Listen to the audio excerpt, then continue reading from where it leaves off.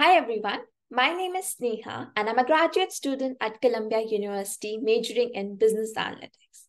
I'm a graduate assistant at Northeast Big Data Innovation Hub and I welcome you all to the National Student Data Corps flashcard video series. In this video, we are going to explore two essential categories of data, namely nominal and ordinal. The distinction between nominal and ordinal data is essential to understand how we categorize and order information. Let's start with nominal data. Nominal data simply categorizes items into different groups or labels. It's all about what category something belongs to. Think of colors, animal species, or types of fruits. These categories have no inherent order or hierarchical ranking. They are just labels.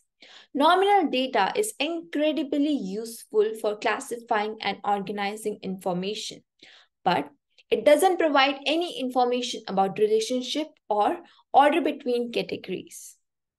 Now, let's shift our focus to ordinal data.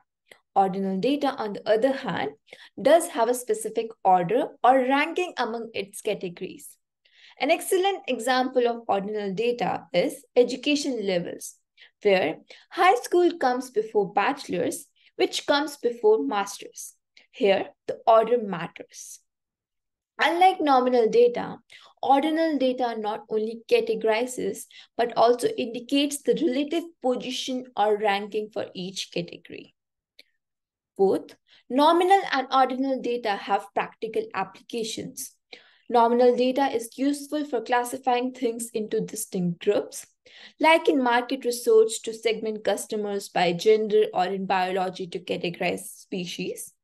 On the other hand, ordinal data is invaluable in situations where there's a clear hierarchy or ranking like in surveys, where respondents rate their satisfaction from very dissatisfied to very satisfied.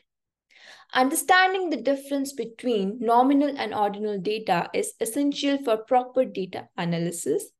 Nominal data categorizes without an inherent order, while ordinal data adds the valuable element of ranking or order. So that is all for today. Thank you all for watching. Please follow along with the rest of the NSDC flashcard video series to learn more.